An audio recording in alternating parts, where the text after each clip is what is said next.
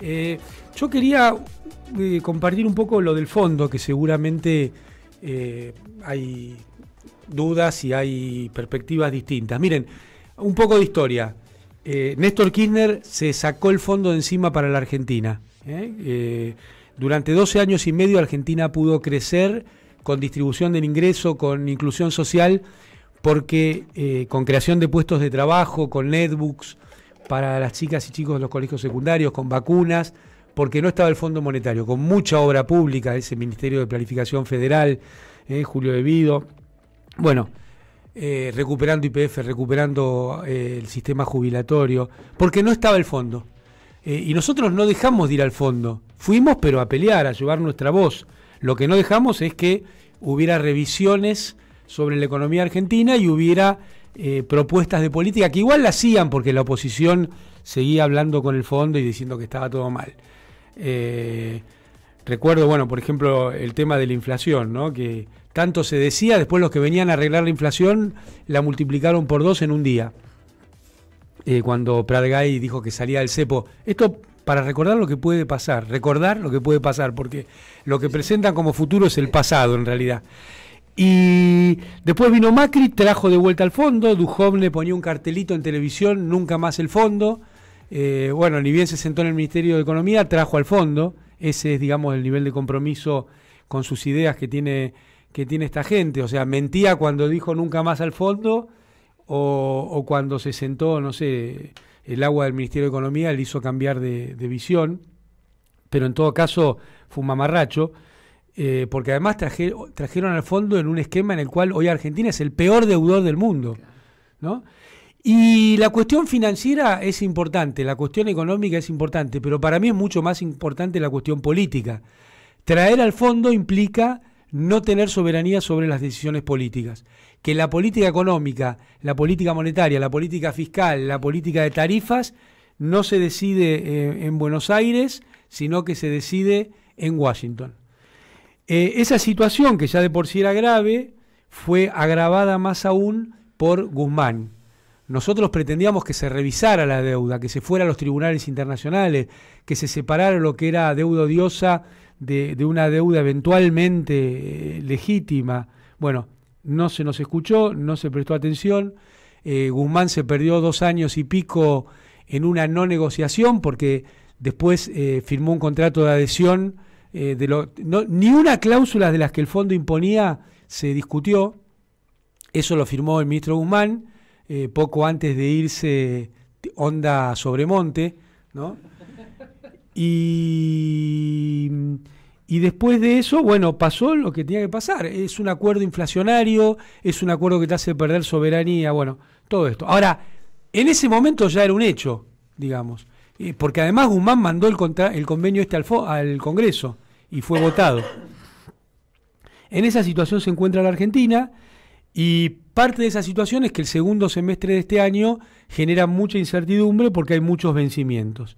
Bueno, eh, me parece que uno de los puntos fuertes del candidato Sergio Massa, candidato y ministro de Economía a la vez, es que tiene claro, y así lo expresa y así lo verbaliza, que Argentina se tiene que sacar de encima el fondo. Tiene que terminar con esta situación. Ahora, eso es una cuestión eh, para cuando sea presidente. Es el único eh, candidato, bueno, Grabois también, que están en contra del tema del Fondo Monetario cuando mm, si, si son elegidos presidentes. El, eh, el, candidato de unidad, Sergio Massa, lo ha expresado con toda claridad, que Argentina no puede tener ninguna política con el cepo del Fondo Monetario encima. Ahora, en el mientras tanto hay que resolver, hay que llegar en un, lo mejor posible a la elección. Bueno, para eso era necesario remover algunas de las metas que se habían planteado. Me parece que en esta circunstancia, para cómo estaba la relación Argentina-Fondo Monetario, se negoció muy bien, se negoció fuerte, se negoció duro. No es la solución, esto es simplemente la construcción de un puente para llegar a la elección, porque lo que se hizo fue eh, revisar las metas en base a la guerra eh, con Ucrania, el costo que eso trajo para la Argentina y sobre todo la sequía. Repito, esto no es la solución, esto es simplemente la construcción de un puente. ¿Y, qué tiene eh, de bueno? Bueno, que va a haber desembolsos eh, que le permiten a la Argentina pasar este segundo semestre. Esos desembolsos, que llegarían al orden de los 7.500 millones de dólares, que no son la solución, tienen algunas cosas que se negociaron desde mi óptica muy bien. La primera es que Argentina recupera algo que el fondo le sacó, que es intervenir en el mercado cambiario.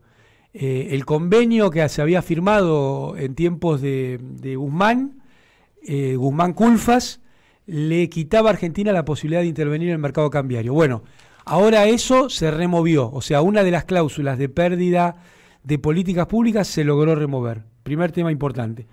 Segundo tema, creo que eso es hasta más importante que eh, los fondos que llegan. Demostrar que le vamos a doblar el brazo en la cuestión de eh, las condicionalidades.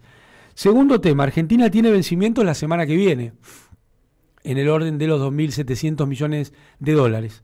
Bueno, en esto también Argentina va a tener una política diseñada desde Argentina y no desde Washington. ¿Por qué? Primero, vamos a volver a pagar una parte con yuanes, ¿eh? algo que hasta ahora no había sucedido. Bueno, lo hizo este gobierno en esta etapa lo va a, volver a hacer en estos vencimientos. Segundo, va a incluir un préstamo eh, puente, o sea, un préstamo de corta duración con la CAF. ¿Qué es la CAF? La Corporación Andina de Fomento. Es un organismo multilateral sudamericano del cual eh, en tiempos de Cristina pasamos a ser miembros plenos para sustituir al BID, porque la CAF hace préstamos eh, para obra pública. Por ejemplo, eh, se usó en Argentina para parte de la electrificación, o sea, de, la red de alta tensión. Argentina no era miembro pleno de la CAF, fue una decisión de Cristina que llevamos adelante en el año 2010, entrar como miembro pleno de la CAF. Ahora eso demuestra que fue una gran decisión porque el ministro Massa va a poder usar eh, a la CAF para pagar parte de lo del fondo con un, préstamo puente. Es decir, eh, lo que se logró en esta etapa con el Fondo Monetario no es la solución, porque eso no está en discusión, la solución es sacarse de encima eh, las condicionalidades del Fondo Monetario, esperemos que esto sea lo que se haga en nuestro próximo gobierno, el ministro Massa candidato se comprometió a esto públicamente, así que es uno de los puntos fuertes para nosotros de, su campaña, pero se ha logrado eh, un puente para llegar eh, al periodo electoral sin que haya eh, una tensión cambiaria muy fuerte que, digámoslo, todos los años electorales, todos los años electorales hay corridas especulativas. Incluso en el año 2011, donde estaba Cristina, que fue un gran gobierno, dos grandes gobiernos, hubo corridas especulativas en los años electorales. La diferencia es que nosotros habíamos construido un banco central con reservas robustas, cosa que habíamos comenzado a hacer en el 2009, para llegar al 2011 con la robustez del Banco Central y nos pudiéramos bancar cualquier corrida que había y seguir tomando decisiones soberanas eh, en ese periodo. Esto me parece que es un poco el resumen de la situación Fondo Monetario Internacional. No, lo que se logró no es ni de cerca la solución, pero es la construcción de un puente que nos va a llevar a ganar la elección y ahí sí encarar, eh, sacarse de encima al Fondo Monetario Internacional.